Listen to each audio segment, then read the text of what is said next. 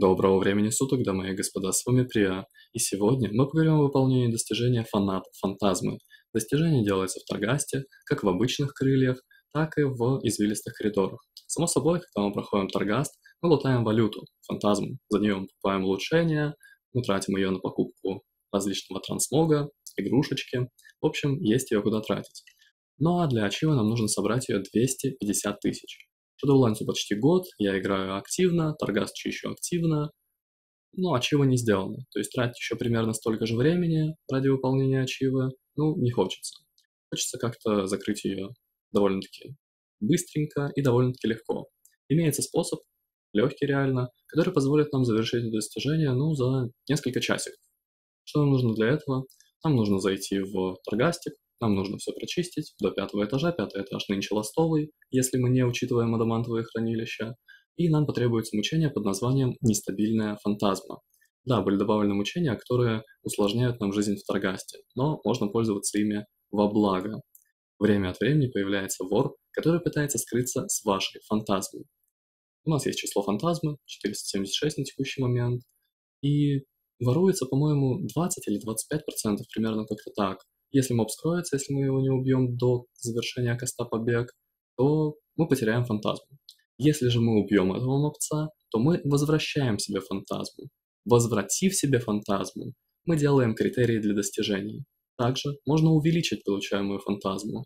Имеются способности анима под названием «Нестабильная приманка для фантазмы». Одна такая штучка увеличивает количество получаемой фантазмы на 25%. Две штучки на 50% ну а логично, что 3 на 75. Также имеется замечательный легендарный предмет, легендарная мощь, приманка для фантазмы. Увеличивает объем получаемой фантазмы на 25%.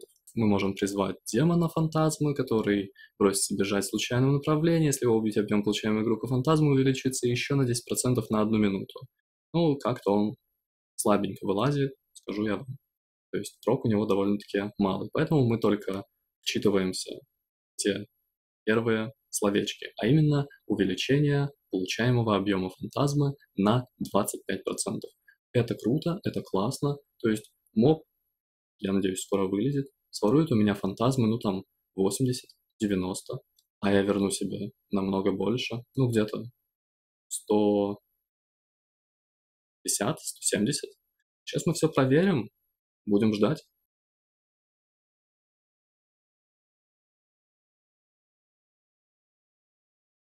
Окей, вылез моб. 476 фантазма было изначально. 357 осталось. 25%, да, получается примерно? Ну, примерно, да. Биом мобца, у него не так много хп, то есть 1100. При 41 способности аниме это сделать нетрудно. А, было 476 фантазмы, стало 609.